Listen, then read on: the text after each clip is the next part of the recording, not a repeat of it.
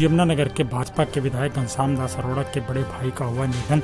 मेदांता में पिछले कुछ दिन से भर्ती बतला दें कि यमुनानगर के विधायक घनश्याम दास अरोड़ा के बड़े भाई राधे श्याम का आज निधन हो गया, जिसके बाद पूरे शहर के अंदर शोक की लहर डाल गई, दौड़ गई, जिसके बाद यमुनानगर के सभी लोग उनके पास संतावना देने के लिए पहुँचने लगे। बतला दें कि घनश्याम दास के बड़े भाई राधे श्याम जी पिछले काफ़ी समय से बीमार चल रहे थे, जिसके चलते हुए मेदांता हॉस्पिटल में एडमिट थे। आज उनका स्वर्गवास होने के बाद जैसे ही आज से शुरू हो रहे बाल महा उत्सव के अंदर ज़्यादा से ज़्यादा बच्चों से हिस्सा लेने की की अपील? जिला शिक्षा अधिकारी ने सभी बच्चों से की अपील। चाहे वह सरकारी स्कूल हो या प्राइवेट स्कूल हो, सभी बच्चे बाल महोत्सव के अंदर हिस्सा ले सकते हैं। इसको लेकर के आज जिला शिक्षा अधिकारी ने एक संदेश सभी स्कूल संचालकों को दिया और एक लिखित में सभी को एक पत्र भी भेजा ताकि ज़्यादा से ज़्यादा बच्चे इस बाल महोत्सव का फ़ायदा उठा सकें और अपनी प्रतिभा को निखार करके आगे आ सकें।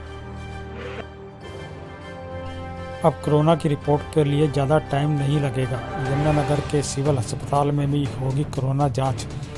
डॉक्टर सिविल सर्जन विजय दैया ने दी जानकारी। बता दें कि अब कोरोना की रिपोर्ट 24 घंटे के अंदर ही मरीज़ को मिल पाएगी और उसकी सुविधा के लिए अब यमुनानगर के अंदर एक लैब को स्थापित कर दिया गया है, जो जल्द ही इस हफ़्ते में शुरू हो जाएगी। यह जानकारी सिविल सर्जन डॉक्टर विजय दैया ने देते बताया कि अब से पहले जो सैंपल होते थे, उनको जो है खानपुर या धान की फ़सल की खरीद को लेकर के यमुनानगर जिला उपायुक्त ने अनाज मंडी का किया दौरा।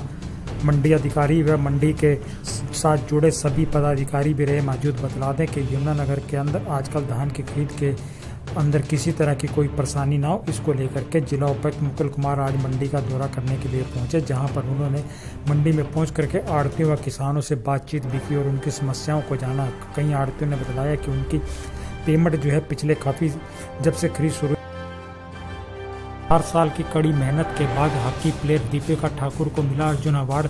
अवार्ड पाने के बाद परिवार के साथ मनाई खुशी। बोली के परिवार का है पूरा सर। यमुनानगर से हॉकी की प्लेयर रह चुकी दीपिका ठाकुर लगातार पिछले काफ़ी समय से अर्जुन अवार्ड के लिए ट्राई कर रही थी। उसका नाम पिछले साल भी आते आते रह गया, जिसके बाद उसने कड़ी मेहनत करी। इस बार भी जब उसको इसकी सूचना मिली तो उसको एक बार तो विश्वास ही नहीं हुआ। मगर जैसे ही उसका नाम आया तो